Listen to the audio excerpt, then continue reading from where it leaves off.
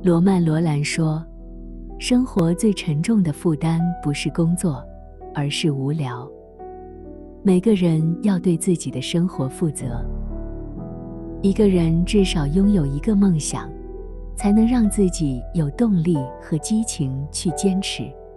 生活的理想，就是为了理想的生活。追求不同的生活方式，是对人生做加法；追求更好的生活品质，则是对人生做减法。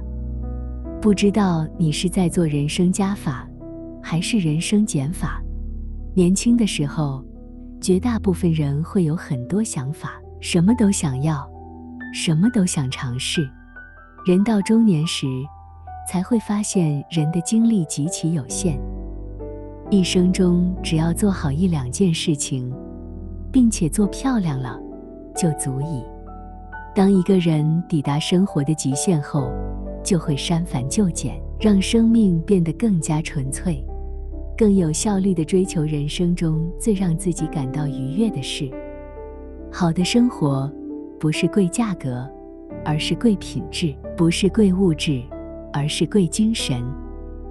生活不是越复杂越好，而是越简约越好。化繁为简，便是一种高品质的生活方式。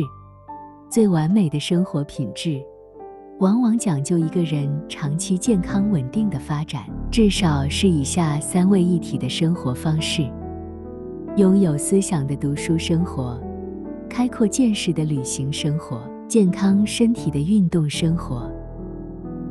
读书的生活方式。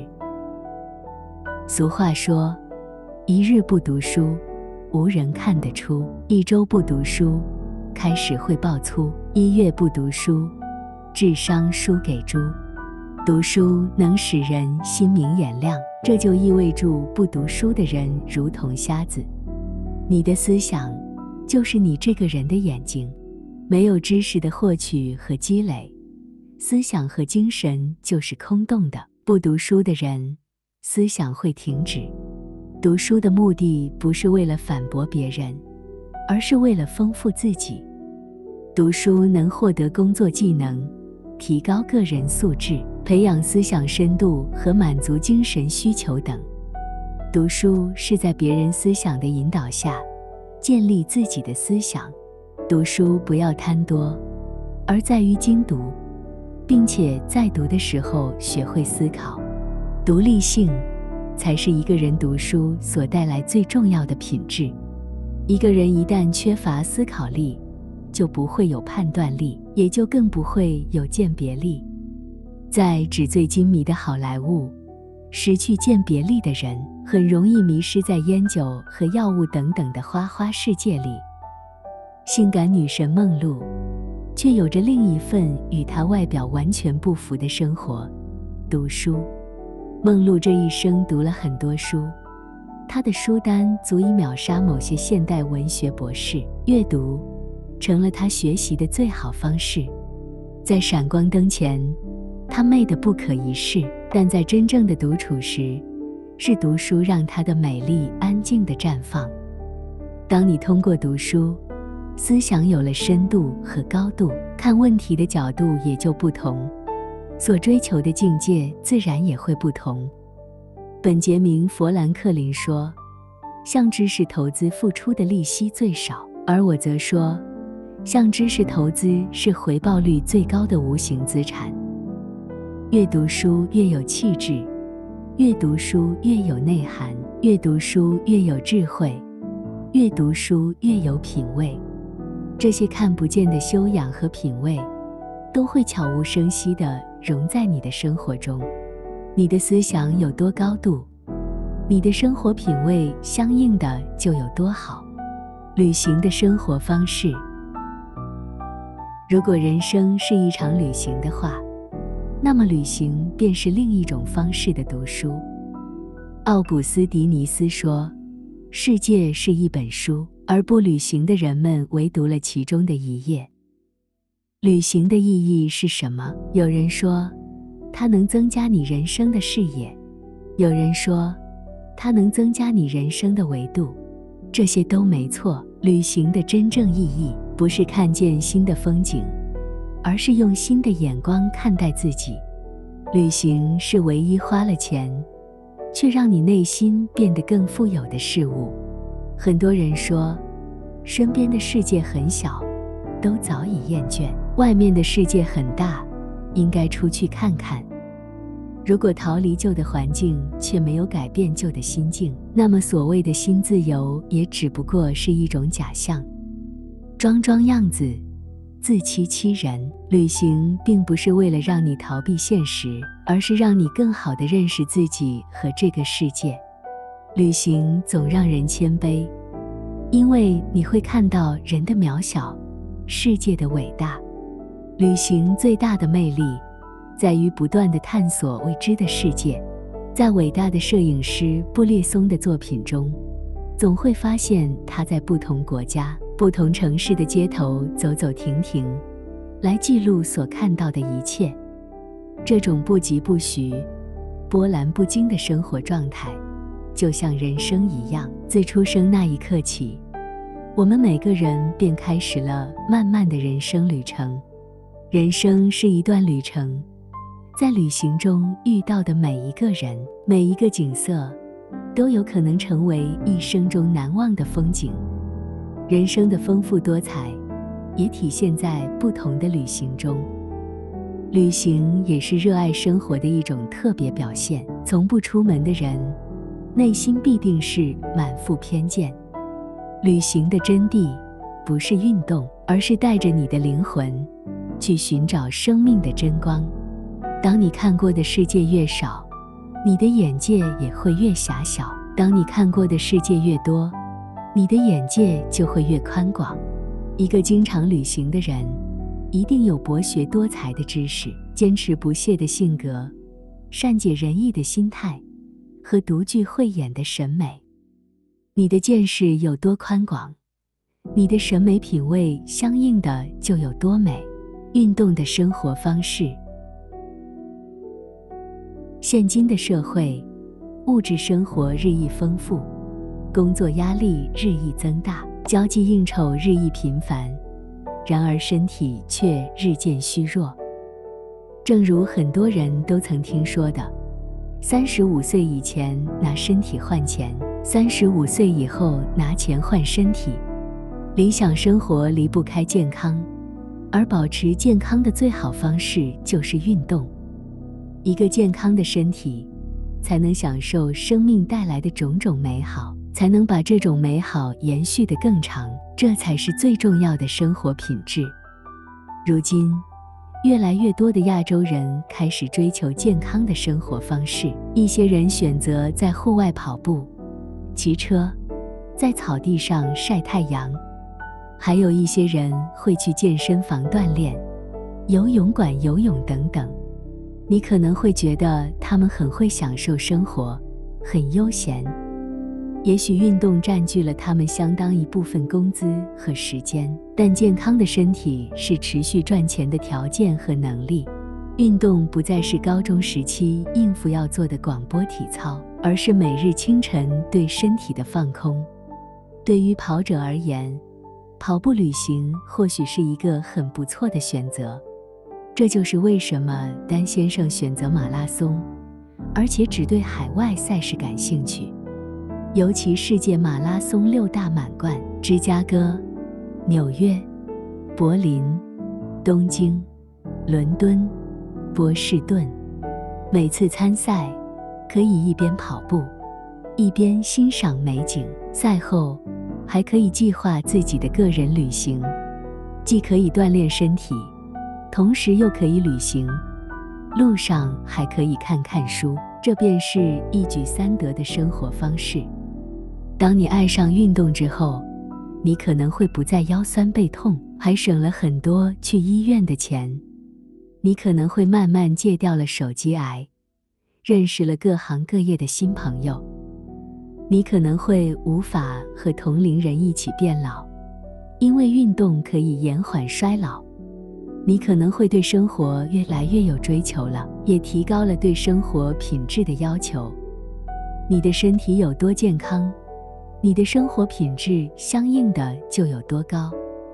在所有的生活方式中，运动健身是最时尚健康的生活方式。而你会发现，一个有生活品质的人绝对会科学运动，智慧手表、专业的运动服饰缺一不可。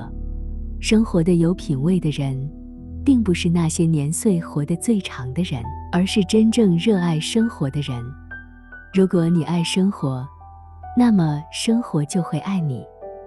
一个集才华与美貌于一身，有高度的思想，有眼界的见识，并且热爱健康生活的人，才是最高品位的生活方式。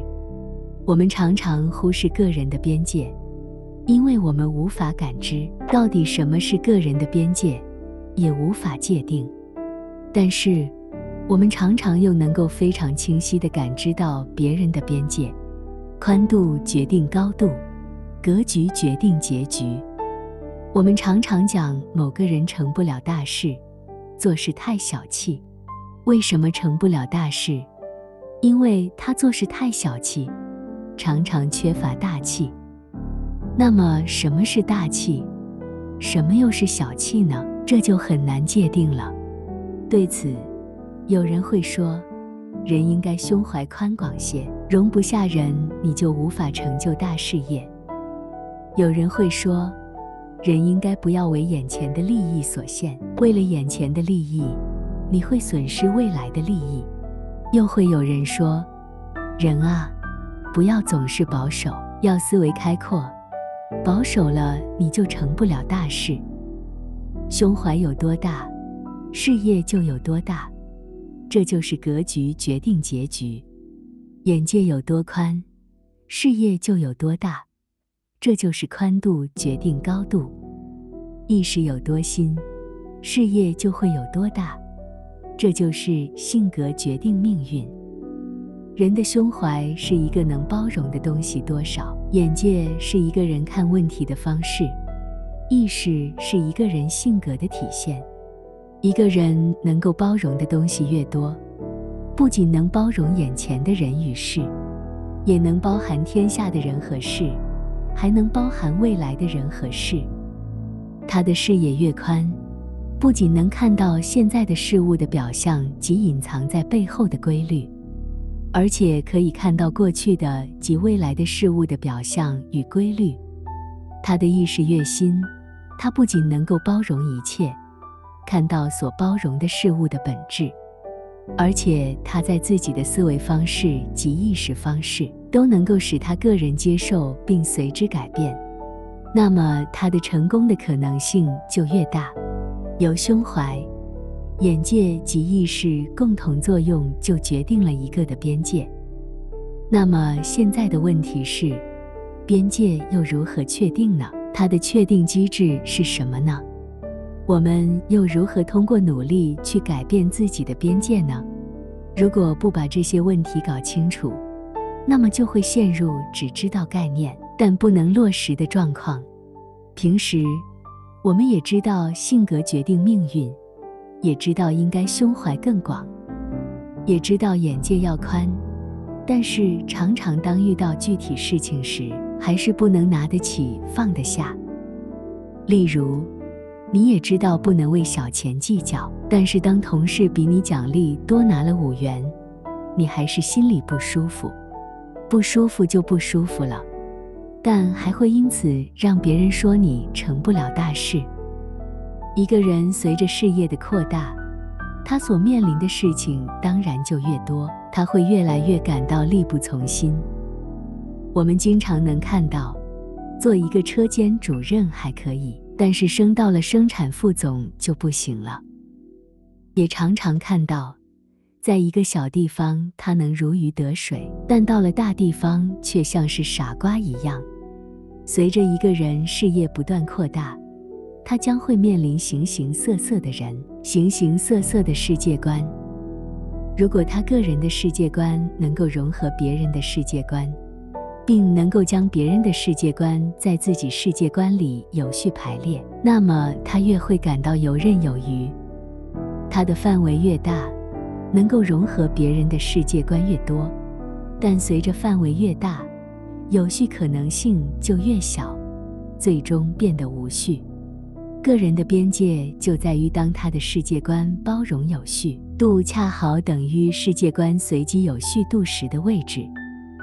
举个例子，我们一个人时，我们世界观假定也是单一的，没有吸收任何外界的资讯，那么有序度最大。这就是我们感觉到婴儿有无限前途的原因。随着年龄的增长。我们不断吸收别的资讯，我们世界观内有序度就会开始变小。我们常常会感到矛盾，但能够控制。不过人与人之间就有了差异，你控制不了了，你的边界就到了。世界上有着无数的世界观，之所以能够存在，就是因为它们可以融合。融合不了。是因为我们受到自己的范围内重新排序的难度，你越能克服这些难度，你的边界就越大。这就是所谓的大气。一个人要成就大事，就必须不断扩展自己的边界，使自己能够更多融合其他的世界观。这中间，一个人世界观有核心成分，有紧密成分。也有松散成分，不断扩大你的核心成分，你的核心竞争力就会越强。当你的核心成分很小，动不动就与别的成分冲突时，你就表现得越小气。那么，你的核心成分有多大呢？这就需要你不断思考，不断调整，你的事业就会不断变大，你的思维模式。决定了你的生活方式，而你的生活方式决定了你的生活品质。